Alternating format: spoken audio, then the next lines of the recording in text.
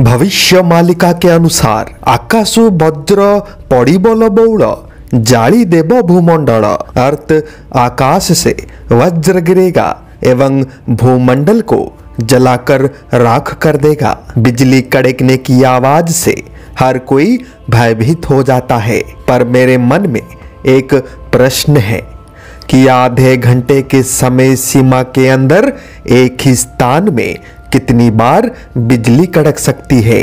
एक बार, दो बार, चलो दस बार, और बढ़ा देते हैं, सौ बार, हज़ार बार। आप सोच रहे होंगे कि ये इंसान पागल हो चुका है, पर पागल मैं नहीं, आप होने वाले हो, क्योंकि ओडिशा के भद्रक ज़िले में स्थित वासुदेवपुर अंचल में केवल आधे घंटे के अंदर ही पाँच हज़ार चार सौ बार बिजली कड़क चुकी है। जय और पराजय का विचार छोड़ के कर्तव्य पर ध्यान दो। डर अपने आप दूर हो जाएगा। पाँच हज़ार चार सौ बार बिजली का कड़कना वो भी एक ही अंचल में वो भी तीस मिनट के अंदर। क्या ये आपको सामान्य लग रहा है? कली शेष बेला होइलाणी निकट बेलो थाउ थाउ हुई सावधान। अर्थ कलयुग का अंत निकट है। समय रहते ही हो जाओ सावधान। पिछली रात से ओडिशा के लोग वासुदेवपुर अंचल में घटी घटना से अत्यंत भयभीत हैं।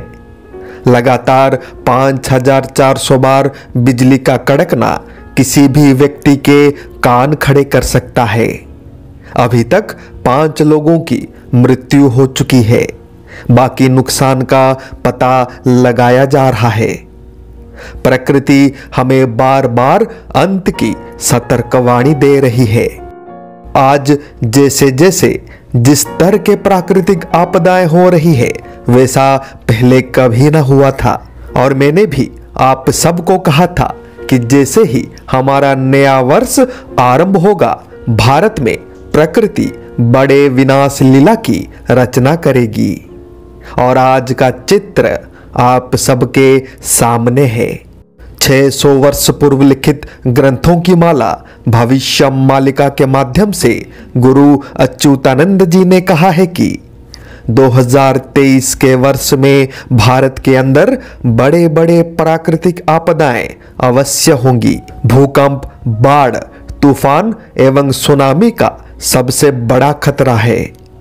इस वर्ष की गर्मी पिछले सभी रिकॉर्ड को तोड़ देगी, पर ज़्यादा दिन तक नहीं रहेगी। ग्लोबल वार्मिंग के कारण संपूर्ण ऋतु चक्र आज बिगड़ चुका है। यानी ऐसा कह सकते हैं कि मनुष्य खुद जिम्मेदार है अपने अंत के लिए।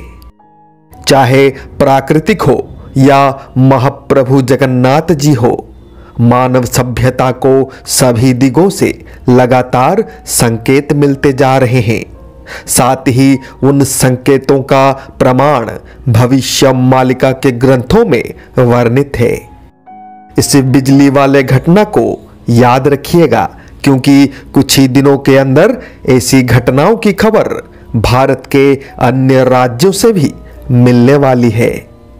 मैंने अनेकों बार कहा है कि 2023 के लिए भविष्य मालिका में ऐसी ऐसी घटनाओं के बारे में लिखा गया है, जिसकी कल्पना भी किसी ने ना की होगी।